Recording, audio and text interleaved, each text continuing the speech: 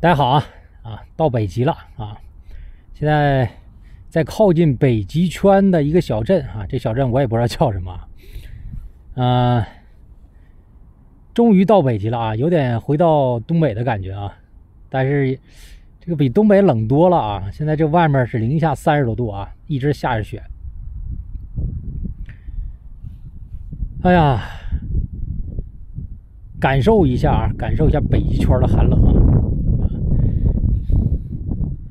前一段时间我还在东北，是不是还给放鞭炮呢啊？现在跑到北极了啊！这个世界就是这么小啊！看看，看着雪下的。那在我所在的位置呢，向东大概是五公里啊。实际上有一个北约的空军基地啊。那据我了解呢，这个空军基地呢，实际上。也是北约在北极圈啊少有的几个空军基地，而且附近呢是有哎北约的核弹井的，也就是发射核弹的。那现在俄罗斯准备对美国使用核武器啊，如果俄罗斯啊对美国使用了核武器，那我现在这个位置啊很可能遭受核攻击，我一秒钟之内，一秒钟人间蒸发了，唰就没了。你看那不寒冷吗？如果在我的上空核爆。一秒钟啊，蒸发了五公里啊，这是核爆毁伤半径啊，五公里。那现在呢，俄罗斯啊和这个西方紧张关系持续啊，那现在日本也加入制裁俄罗斯的行列啊。那现在呢，疑似俄罗斯的直升机呢也进入了日本领空，日本航空自卫队呢也出动了战机紧急升空啊。现在我了解到呢，三月二号一架疑似。俄罗斯的直升机出现在日本北海道根室半岛近海，日本航空自卫队战机紧急升空来应对。根据日本共同社的报道啊，日本防务省表示啊，今天上午一架疑似为俄罗斯直升机出现在北海道根室半岛近海，侵犯了日本领空，航空自卫队立即出动一架战机升空警告。日本自卫省指出啊，俄罗斯可能在持续对乌克兰进行军事行动的同时，在亚洲挑衅。目前呢，正在分析详细的飞行情况，将采取一切可能的措施和监视。呃，NHK 也最新报道啊，日本防卫省发布消息啊，当地时间三月二十啊，三月二号上午十点二十三分，北海道发现一架推断为俄罗斯的直升机进入日本领空，自卫队紧急升空并将其驱离。呃，NHK 称呢，涉事直升机进入日本领海的时间约为数十秒啊，短暂的进入。日本自卫啊防卫省就此通过外交渠道向俄罗斯政府发起抗议。那现在在日本防卫省的推特上有这个消息了啊，那这是俄罗斯军机自去年九月以来在北海道啊首次侵入日本领日本领空。呃，实际上呢，九月份呢，曾经有一架安托诺夫的安二六运输机在北海道外海上空啊出现两度入侵日本领空。那现在我了解呢，日本的志愿军啊也抵达乌克兰啊。呃，那总统泽连斯基呢已经宣布啊，期盼呢组织外籍志愿军团组成外籍兵团，协助呢乌克兰展开对俄罗斯军队的防御。根据乌克兰官方的说法呢，目前已经有数千人报名参战。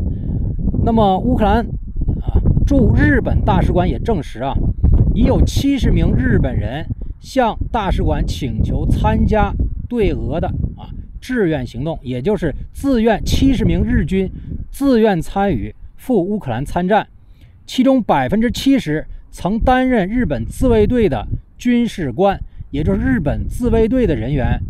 那现在已经向乌克兰申请参与到乌克兰战争。那二月二十七号呢，乌克兰总统泽连斯基宣布组建一支由志愿军组成的外籍军团，随后呢，号召乌克兰驻日本大使馆啊，在社交媒体上向日本网民发出号召。那乌克兰方面呢，像这些志愿军啊，现在我了解啊，会提供一定的报酬啊。但据乌克兰驻日本的外交官说啊。许多志愿军报名呢，动机非常纯粹啊。实际上呢，觉得自己在日本没有什么用处啊，想做一些有用的事情。这些人是不要求回报的啊，就是想参战。乌克兰呢驻日本大使馆也透露啊，截止三月一号晚，有七十名日本男性提出应聘五十人啊，是前自卫队的军官，还有两人曾属于法国的外籍军团。乌克兰方面呢，有考虑在外籍兵团服役时支付报酬啊。呃，但日本外务省呢，已将乌克兰危机情报提高到最高的四第四级，叫劝退啊，退避劝告，不但呼吁当地侨民撤离，也请求民众不要前往。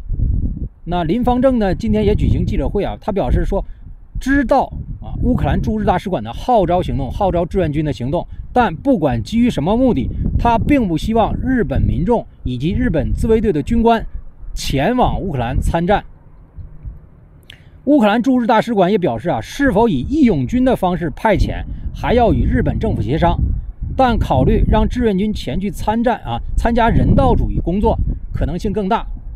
那很可能呢，这些日本自卫队的军官啊，不会拿枪上前线，但是会参与到后勤，还有一些这个运输啊，呃，那也属于是志愿军的性质啊。那也就是日本二战以后首次啊派出自卫队的军官前往。第三国参战，实际上日本呢，现在呢，大家知道啊，啊，他的这个军国主义啊，大家要提防。现在日本也首次啊参战，在乌克兰参战，啊，所以我会一直关注的日本啊，这个志愿军啊，参与到乌克兰战争。中国实际上也有一部分人啊，实际跟日本这些，啊，你说这些前自卫队军官也是一样的，啊，也参与到实际上乌克兰的战争啊。我有机会吧。给这情况介绍一下，但是呢，毕竟啊，这个东西国内是禁止的啊，你给人爆出来以后，人家没法回国了，对吧？所以呢，我还是比较谨慎的，比较敏感啊。很冷啊，你看我说这两分钟话啊，我这冻得已经不行了啊，太冷了。看看看看看看这烧，在北极圈给你做节目啊，在北极圈给你做节目啊，这油管也就我一个啊。三十多度啊，零下三十多度。哎呀，恍如隔世啊，是不是？小年儿的时候，我还在东北给你放鞭炮呢，是不是？